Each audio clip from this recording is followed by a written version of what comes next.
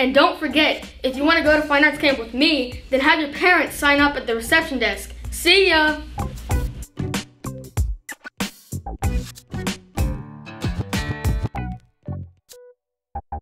Thank you.